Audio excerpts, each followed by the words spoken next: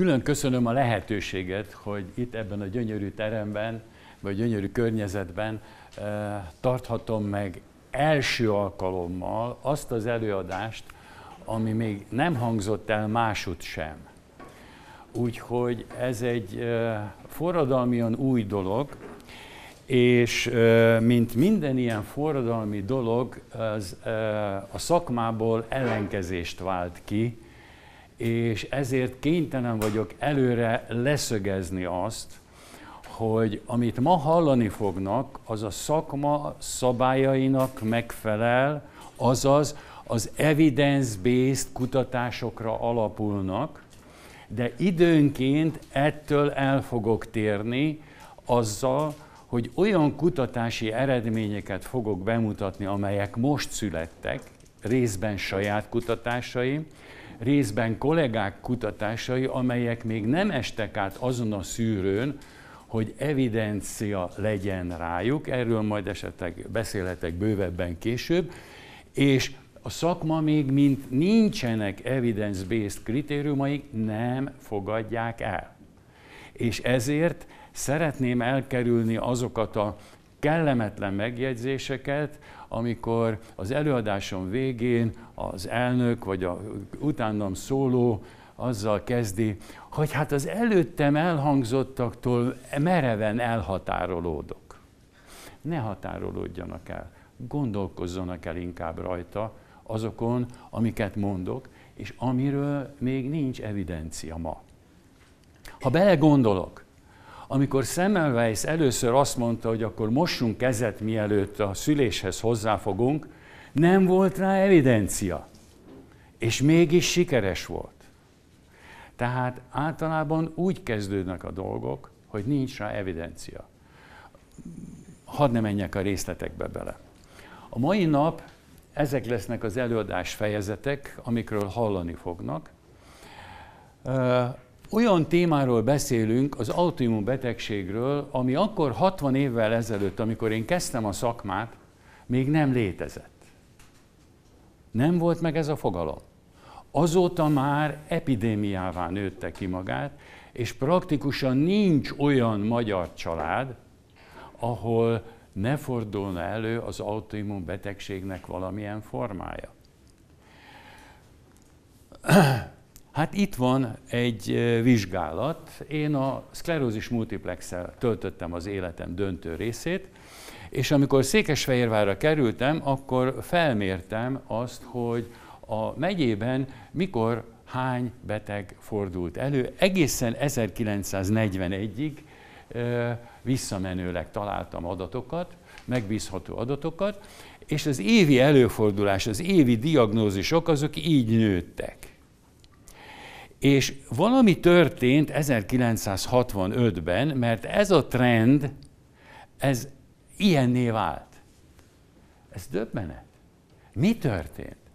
És amikor egy kisebb társaságban mutatom ezt az ábrát, akkor a barátom megszól, azt mondja, te, hát ez a kenyérgyártás technológiájának a megváltozása esett erre az időre, mert akkor jött az, amikor a nagyipari kenyérgyártás bejött, amikor a kovászolást elhagyták, és kovász nélküli gyors kenyereket gyártottak, és sorba mentek tönkre a vidéki kis pékségek, be kellett zárniuk, mert nem bírták a versenyt a gyárral, és megszűnt a kovászolt kenyér. És ez hozta nekem a megoldását 30 év után ennek az ábrának, hogy akkor mit, és akkor utána mentem, mi történik a kovászolás során. A kovászban elszaporodnak azok a baktériumok, amelyek egyébként is ott vannak a lisztben, és azok jól elszaporodnak. Este bekeverem a kenyérnek valót, egész éjjel melegen tartom, és a melegben elszaporodnak a laktobacillusok, amelyek a kovászban vannak, meg bizonyos gombák, ezek termelnek savat, tejsavat, és termelnek enzimeket. Ez a tejsav és az enzimek a búzalisztben lévő glutént, amelyik egy 380 aminósabból álló lánc, az darabokra szabdalja, és így a gluten nem okoz problémát. A mai kenyérgyártás, amelyik élesztővel történik, és az 61-ben határozták el Corlywoodban, az London külváros, ahol a pékek összegyűltek, hogy új technológia kell, hogy gyorsan menjen, és el tudjuk látni iparilag a, a nagy ö, ö, tömegű lakosságot, és ö, ö, a hozzáadott élesztő a gliadint nem vágja darabokra, hanem egészben hagyja. Na most ez az egész gliadin rengeteg olyan részt tartalmaz, amelyik immunerős, reakció, erős immunreakciót váltanak ki, és keresztreakció révén nagyon sok támadást, speciális támadást indíthat különböző szerveink ellen. Tehát egy méreg a számunkra, és ezzel a méreggel tápláljuk magunkat nap mint nap. Tehát ez lehet az egyik oka, nem csak ez, van még más is bőven, de ez lehet az egyik oka annak, hogy ettől az időponttól kezdve van ez a törés, és így megugrottak az autoimmunbetegségek. Aztán menjünk vissza egy picit a történelembe. Száz évvel korábban egy orosz tudós, aki Bulgáriában dolgozott, Eppen, meg Olaszország déli részén Messzinában, azt fedezte föl, hogy a tengeri sünök lárvái a folyadékban, ha valamilyen idegen anyagot találtak, akkor körbevették és bekebelezték. Ő volt az, aki a fagocitózis jelenségét fölfedezte, és erre egy német társával együtt megkapták a biológiai Nobel-díjat. És azt mondta, még Erlich, meg Mecsikov is megegyezett ebben, hogy az a dolog, hogy a szervezet önmagára támadjon, azaz a horror autotoxikus, nem létezik. A szervezet nem ölheti meg saját magát. És ez a múlt század második felében kiderült, hogy bizony van ilyen, és a szervezet bizonyos esetekben önmagára támad, és mára ez az önmagára támadás járványán nőtte ki magát. Nagyon érdekes volt 33-ban Rivers és munkatársainak egy vizsgálata, akik azt csinálták, hogy nyúlnak a gerincvelejéből a fehér állományt vették ki, azt összezúzták, és ezzel beoltottak másik nyulat.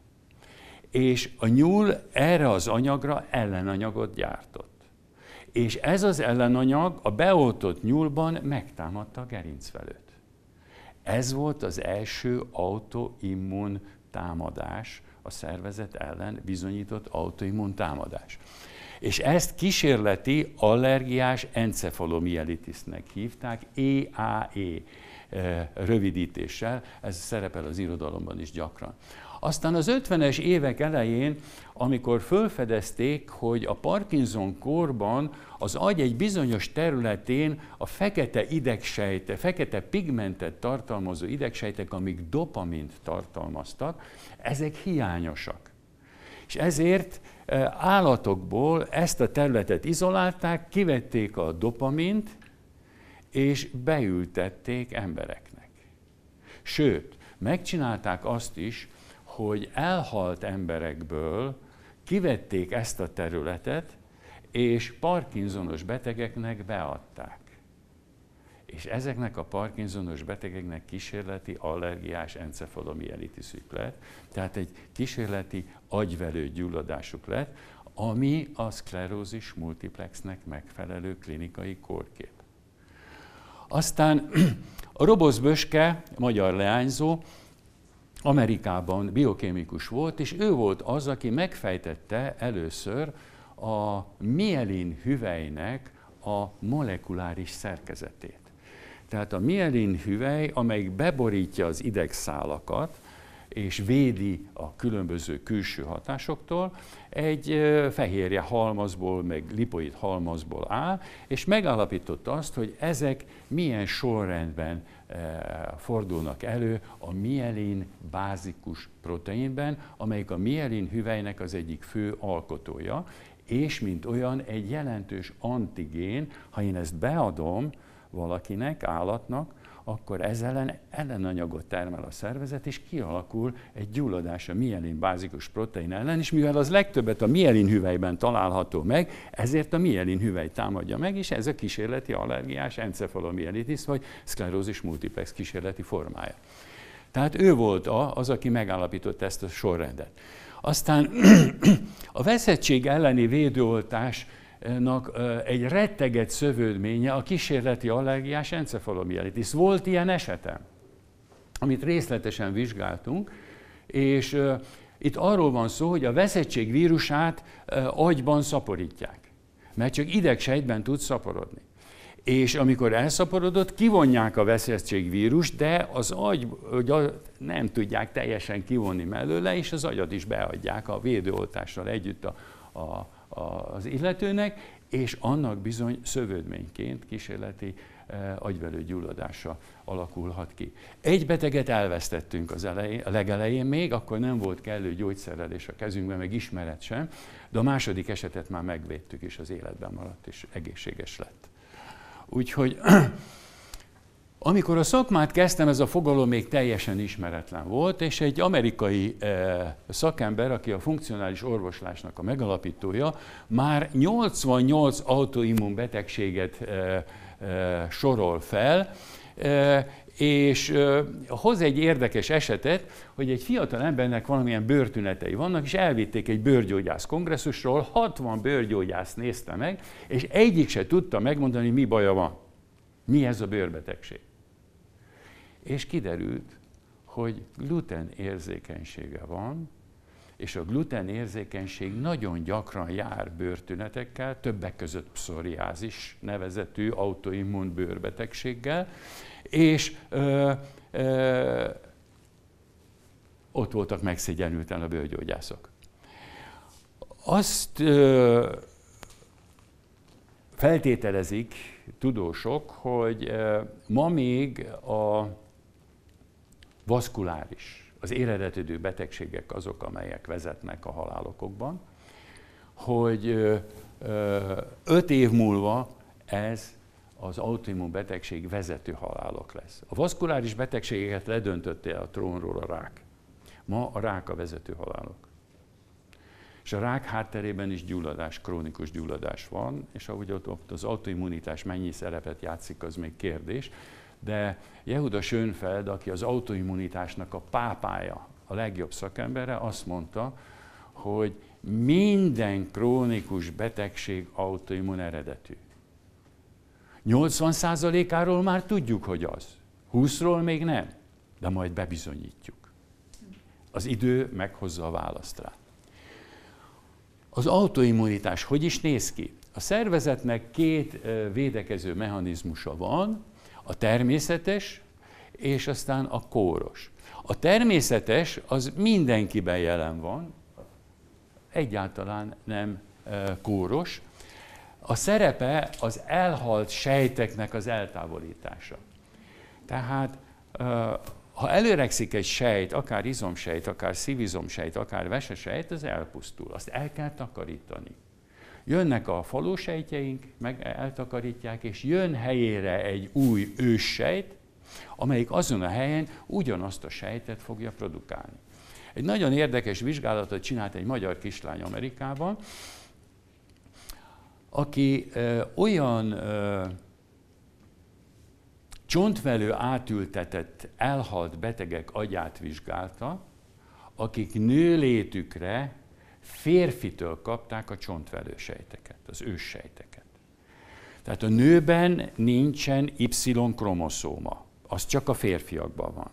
És ő azt találta ki, hogy az agyat előveszem, és az ideg sejteket megnézem, hogy van-e bennük Y-kromoszóma.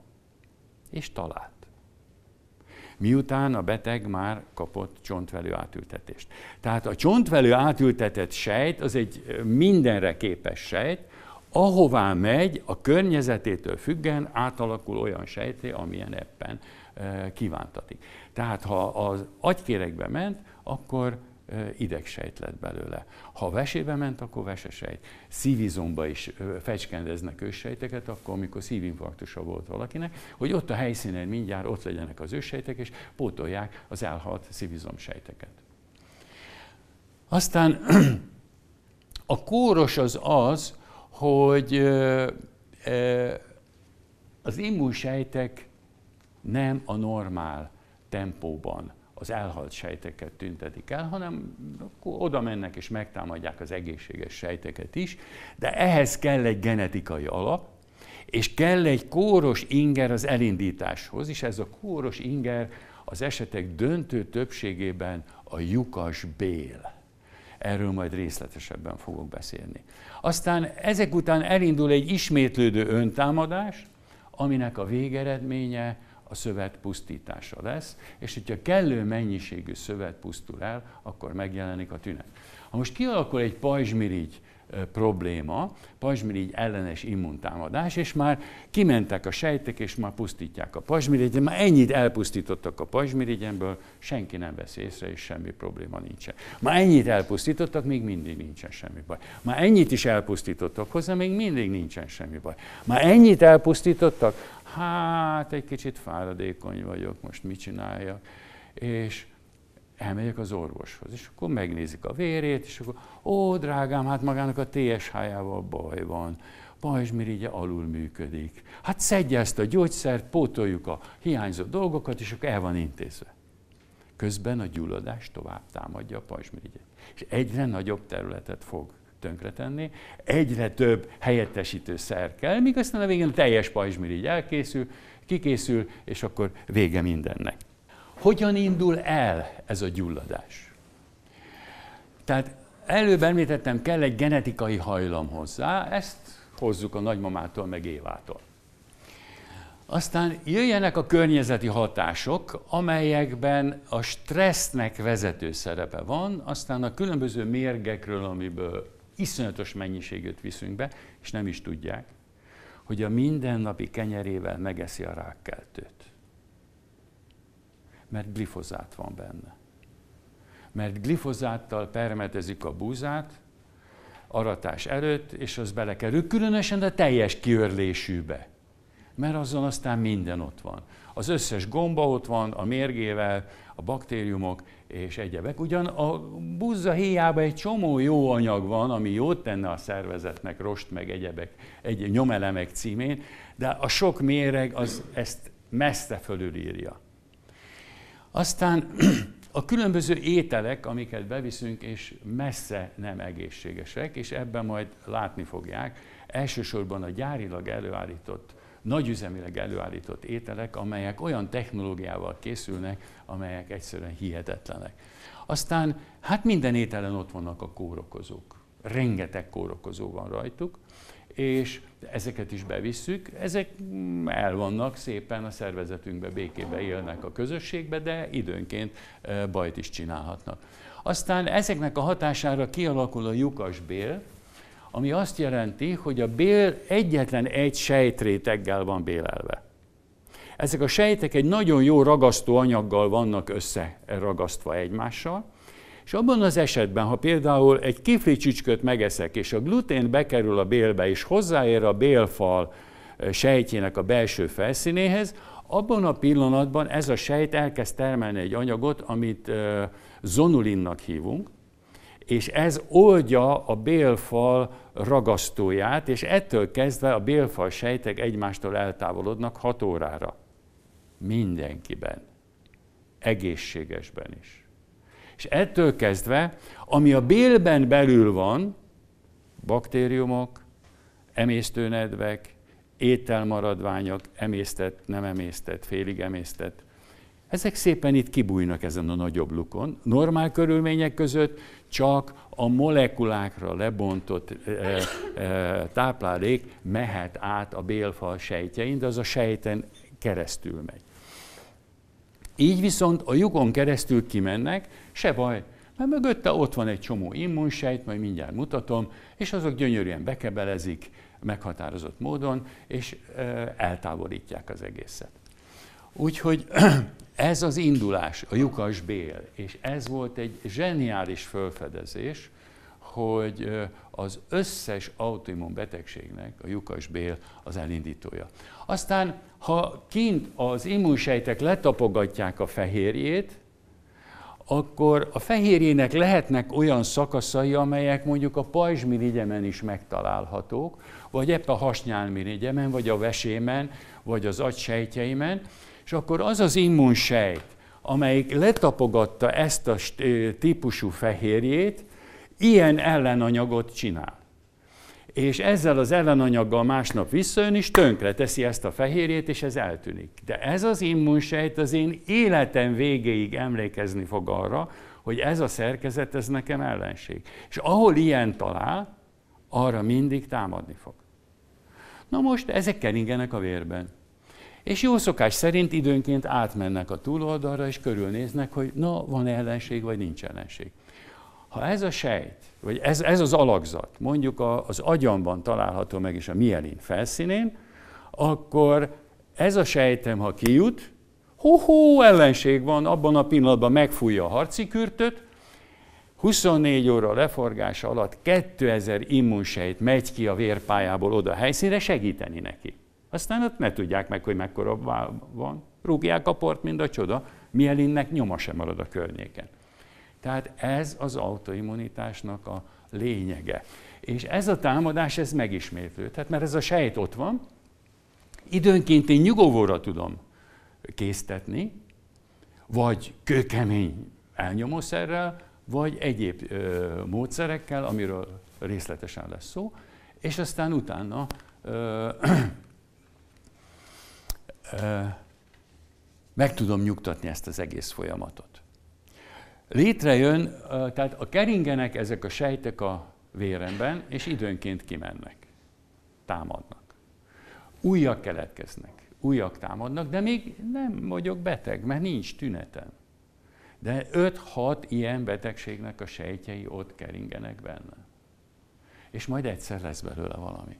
Kialakul egy szöveti gyulladás. Az elején még nem veszünk észre semmit, mint az előbb említettem a pajzsmirigyet. Egy bizonyos területnek károsodni kell, ahhoz, hogy a tünetek megjelenjenek. Az idegrendszerrel kapcsolatban szerencsénk van, mert sokszor van olyan területi károsodás, amelyik azonnal jelzi kifelé, hogy valami baj van. Ha például a látóideget támadja meg valaki, akkor, valami, akkor nem látok az egyik szememre, hát rohanok az orvoshoz, hogy dokikám, mi baj van. És akkor, hát kedves, a látóidegét gyulladás támadta meg, és akkor hát, hát, hát, és akkor megy tovább az egész, és ettől kezdve én meg Köszönöm szépen. Padlón vagyok. És aztán a szöveti gyulladás vége az, hogy megjelennek a klinikai tünetek, a klinikai tünetek ismétlődnek, progrediálnak, és egyre több gondom lesz. Ha egy speciális antigén, azaz baktérium, vírus, fehérje, vagy aminósav szövetdarab bejut a szervezetbe, az ellene való védekezés során kialakulnak olyan immunsejtek, olyan limfociták, amelyek erre a speciális anyagra ö, lesznek érzékenyek, és ö, ezek őrjáratot járnak a szervezetben, és időnként kimennek a túloldalra, és csinálják a szöveti károsodásokat. Még az elején nem is csinálnak tüneteket. Ha több ilyen sejt érzékenyítődött már különböző szervem ellen, már pedig ha lyukas a bél, rengeteg fajta fehérje megy ki, ezek ellen mindegyik ellen az immunrendszer megcsinálja maga speciális védekező sejtjeit, ezt hívjuk autoimmun státusznak, amit már ki tudunk mutatni speciális módszerekkel, de ez még nem mindennapos klinikai gyakorlat, és el tudjuk kezdeni, fel tudjuk hívni a figyelmet arra, hogy vigyázat, ezt meg kellene próbálni elkerülni, hogy ebből egy komolyabb betegség legyen. Aztán jön egy fiatal asszony mm, Amerikában, aki katonákat vizsgál, és a katonák között rengeteg autoimmun beteg van, amit az egyik legsősabb autoimmun betegség a szisztémás lupus erythematosus, amelyet SLE néven szoktunk rövidíteni. És 101 néhány ilyen beteget elővesz, és ezek már mind manifest, klinikailag kezelt betegek. És a hadseregben az a szokás, hogy minden évben vizsgálat van, leveszik a vért, lefagyasztják. És ezeknek a, ennek a 100, 130 betegnek a vérét 10 évre visszamenőleg elővetette a bankból, és megnézte, hogy a vérükben mikor jelentek meg azok az ellenanyagok, amelyek ehhez a betegséghez vezettek. Hétféle ellenanyag van ebben a betegségben, ennyi mutatható ki. Mind a hetet megnézte és követte, és azt találta, hogy az ellenanyag már hat évvel korábban, mielőtt a klinikai tünetek és a diagnózis megszületett, hat évvel korábban már ott vannak a vérében. Tehát a betegség jóval korábban alapozódott meg, és csak később derült ki. Hiszen ezt látjuk a szklerózis multiplexben is. Jön a beteg az első tünetével, hogy nem látok, elküldöm emerre, és az agya tele van gócokkal. Azok nem tegnap keletkeztek, hanem az elmúlt húsz évben. A születésétől kezdve bármikor indulhat, hozok majd esetet, mutatom, hogy ez hogy néz ki. Hát itt van a bél normál szerkezete, itt vannak a, a különböző betűremkedések, e, itt van szövettanilag nagy nagyítással, itt vannak azok a záró lemezek, amelyekről beszéltem, és amelyeket a zonulin felold, és aztán itt van sémásan a normál e, sejtfelszín, és itt van a, a ragasztóanyag, amit azután a, a zonulin felold, és kialakul a lyukas bél, és megy a bél mögötti területre, egyenesen a, a vérpályába az anyag. Mi az, ami ezt a lukas belet létre tudja hozni? Hát a stresszhormonok az első helyen. Mutassanak nekem olyan valakit, aki nem stresszel. Hm? Erről, erről még részletesebben beszélünk. Aztán immunstimulálás. Ha én védőoltást adok, vagy akár milyen más dologgal stimulálom az immunrendszert, megváltozik, és lyukasbél lehet. Megváltozik a bélflóra, és gyulladás lesz a belegben. Tehát egy olyan romlott ételt teszek, ahogy szoktuk mondani, akkor új baktériumok kerülnek be, ott ekkora nagy harc alakul ki, gyulladás a belegben, rögtön kész a lyukasbél. Megnyílik a bélfal, kijutnak a baktériumok, a táplálékok, és a félig emésztett anyagok, anyagok, hogyha hasonlóak a test felszínének a fehérjeihez, akkor kész a szöveti lekötődés, szöveti gyulladás, és már is ö, ö, kialakult az autoimmun betegség. Na most itt látnak egy csodálatos szerkezetet. Mi ez? Kaptafa. Nem véletlen. Azért, mert az autoimmun betegségek egy kaptafára vannak szabva. Tehát a mechanizmus praktikusan mindegyiknél ugyanaz. A lényeg a gyulladás a szövetekben, a gyulladásnak két része van, van egy sejtes komponense, és van egy humorális komponense. A sejtes komponensek állnak a T-limfocitákból, a B-limfocitákból, a természetes ölősejtekből, a falósejtek, monocitákból, amelyekből falósejtek lesznek. Ez a sejtes immunitásnak a része. A betegség, ami emögött van, a szklerózis multiplex. Típusosan ezek által létrehozott betegség. A humorális oldal, ahol az immunoglobulinok, amelynek öt fajtáját ismerjük, IgA, IgM, IgG, IgE, és IgD, és aztán vannak a sejtek által gyártott úgynevezett citokinek, ezek nagyon hatásos hírközlő anyagok, amelyet a sejtek gyártanak, és vannak a linfokinek, és van egy komplement nevezetű anyag, és amely betegségben ezek játszanak szerepet, az is a szklerózis multiplexnek egy fajtája, amit hat évvel ezelőtt vált le a nagy betegcsoportból, mert nem a sejtes immunitás végzi, hanem a humorális immunitás a bajt, és ez a Devik féle neuromielitis optika, amelyik Japánban nagyon gyakori, míg nálunk eléggé ritka. Ez azt jelenti, látóideggyulladás és nyaki gerincvelő gyulladása együtt elég súlyos tünet együttes tud létrehozni. Más a mechanizmus, másként kell kezeljük. Aztán izgalmas az, hogy ha a mielin bázikus proteint izolálták, akkor azzal kísérleti, beoltja az állatot, kísérleti agyvelő gyulladást tudott létrehozni. És akkor egy barátom, aki jelenleg a Müncheni Max Planck Intézet immunológiai osztályának a vezetője, még fiatalként Izraelben egy kutatásban vett részt, és azt csinálta, hogy azokat az állatokat, amelyeket beoltottak már a mielin bázikus proteinnel szemben, is elindult a szervezetükben a, az autoimmun státusz. Tehát a limfociták megkapták a mielin bázikus proteint, és ettől kezdve a limfociták ellenségnek, eh, ellenségei voltak a szervezetnek, és a szervezeten belül is a mielin bázikus proteinnek, és három nappal az oltás után még nem volt betegség. A betegség a 11-12. napon kezdődik az oltás után.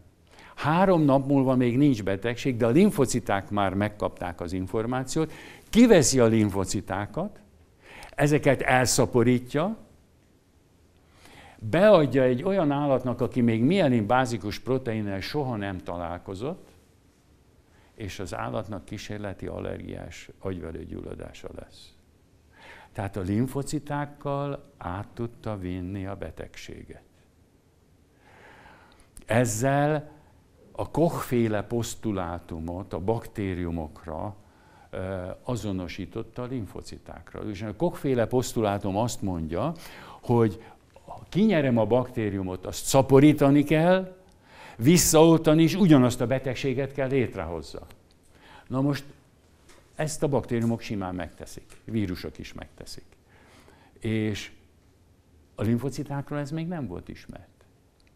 És ettől kezdve tudjuk azt, hogy a limfociták, ha találkoznak egy bizonyos antigénnel, egy fehérje szerkezettel, akkor létrehozzák a bajt. Képen megtanulják azt, és attól kezdve ők a gyulladás okozói. Aztán ebben a kutatásban egy magyar kutató is jeleskedett, itt a szomszédi egyetemen dolgozott ebben, és dolgozik még a mai napig is, Engelhardt Józsi barátom, aki borjakból, gerincvelőből motoros idegsejteket vett ki. Az azért a borjakból, mert elég nagyok, és ezt lehet látni, és gyönyörű szépen ki lehet preparálni gyűjtött egy pár ilyen idegsejtet, ezekkel beoltott egereket, az egerek az idegsejtelen ellenanyagot csináltak, és ezek az egerek amiotrófiás laterálszklerózisben e, pusztultak el.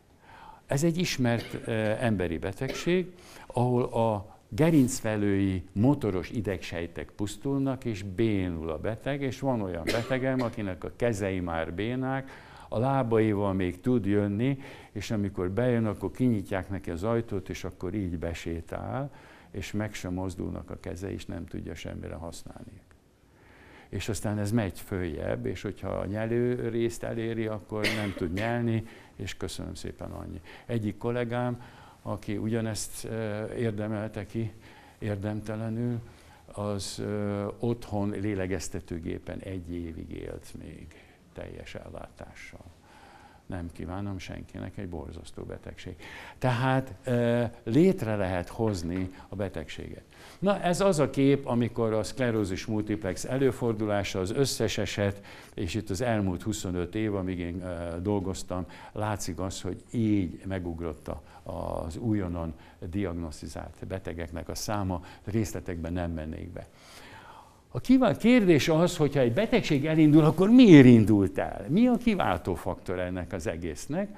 És hát amikor én a szakmámat kezdtem, ez volt a kutatás egyik fő irányvonala, hogy a kiváltó faktor, és akkor kezdő egy hónapos orvosként jön a Rákóczi Feri tolókocsiban, és fölveszem az anamnézist, és kiderül, hogy a katonaságnál, amikor uh, járőrön voltak hatan, egy befagyott folyón kellett átmenniük, és ahogy átmentek, mikor a közepén voltak, beszakadt a jég, és derékig a jeges vízbe kerültek, onnan kimásztak, nem volt még mobiltelefon az 50-es években, akkor iránya, laktanya, futó lépésben, amíg tudtak, amíg rájuk nem fagyott a mínusz 10 fokban a ruha. Nagy nehezen elérték két órán belül a laktanyát átfagyva, ott belül mindent megkaptak. Kívül belül forróság, fürdő, pálinka és a többi és rendbe jöttek, kivéve Ferit. Másnapra elzsibbadtak a lábai. indult a szklerózis multiplexe. Hát egyszerű, megvan a kiváltó faktor. A jeges víz. És ez kapóra jött, mert az akkori főnökömnek már volt egy korábbi közleménye, ahol a kender áztatóba dolgozó nőnek alsó végtagi tünetekkel kezdődött a szklerózis multiplexe. Hát egyértelmű, hogy a hideg víz az okozója a szklerózis multiplexnek. Tehát, hogyha az, akkor a másik öt az miért nem lett szklerózis multiplexes? Azért, mert a Feri már autoimmun státuszba volt. A szervezetében már ott voltak azok a limfociták, amelyek tudták, hogy a mielin bázikus protein, azaz a velős hüvelynek egy alkotója ellenség a számukra, ez egy stressz volt, a stressz hatására az immunrendszer aktiválódott, és mivel itt ért a hideg, itt ment be az első információ a gerincvelőbe, ott alakult ki neki a gyulladás, és ezt csinálta az alsó végtagi tüneteket. Erre már egy későbbi időben egyik előadásomat követően jöttem rá. Tehát a kiváltó faktornak ez a jelentőség. Tehát kell azért egy kiváltó faktor. És akkor Alessio Fazano a Harvard Egyetemen a gluten és a benne lévő gliadin fokozza a bélfal áteresztő képességét azáltal, hogy a zonulint aktiválja és kinyitja a bélfalát. És ö, itt látható ö, mikroszkópos szerkezettel a bélfal sejtje, elektromikroszkóppal itt van ez a terület kinagyítva, aztán sémásan ábrázolva molekuláris szinten, hogy ezek a kapcsok hogyan zárják ezt a területet, és ezeket a területeket oldja föl a zonulin, és teszi áteresztőbbé nagyobb molekulák számára. Ezért. Itt van Alessio Fazano, és tavaly volt szerencsém vele személyesen is találkozni, és az idén áprilisban rendezünk egy konferenciát, ahol szintén előadni fog, itt Magyarországon, és ő úgy gondolja, hogy az autoimmunitás elindítója a mikrobiómot alkotó erről majd még a mikrobiomról még külön beszélek, baktériumok egyensúlyának megbomlása, amelyik megnöveli a szívinfarktus, a rák, a stroke, az Alzheimer, a Parkinson, a diabétesz, az autoimmunbetegségek, a depresszió, a szorongás, a memóriavesztés, a ködös agy, és sok más betegség előfordulását. Minden autoimmun betegséget a lyukas bél szindróma előz meg. Ez az ő teóriája. És akkor itt van Mark Heimann, aki a funkcionális orvoslásnak a, a pápája, és egy ragyogó könyve van, aminek az a címe, hogy Food. What the heck should I eat? Étel. Mi a francot egyek? Mert nincs egészséges étel. És akkor ő az autoimmunistásnak három fő okozóját látja. Első a gluten. Második a gluten. És a harmadik, találjanak egyet. A gluten.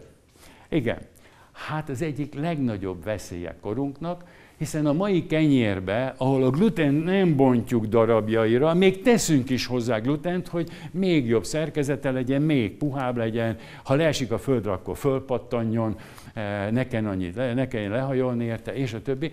Tehát egyszerűen gluten mérgezésben szenvedünk. Az autoimmun betegségek keletkezésének egyik feltétele a bélfal permeabilitás és áteresztő képességének fokozódása. Ez az a pont, ahol a bevitt táplálék szerepet játszik, és kimegy, mert hogyha nincs elég vajsav, és a vajsavat a bélbaktériumok a rostokból, nem a vajból, a rostokból gyártják. Azokból az emészthetetlen rostokból, ami egyébként eltávozik a baktériumok nélkül egészében eltávozna. Vajsav, mert ez táplálja a bélfal sejtjeit is. Ezért egészségesek maradnak a bélfal sejtek, és nem lesz lyukmellel közöttük és nem lesz permeabilitás fokozódás. Az autoimmun betegséget a nyugati eh, világ betegségének tartják, a megváltozott étrend és a megváltozott mikrobióm, ami a bélflóra összességét jelenti. Ennek a következménye.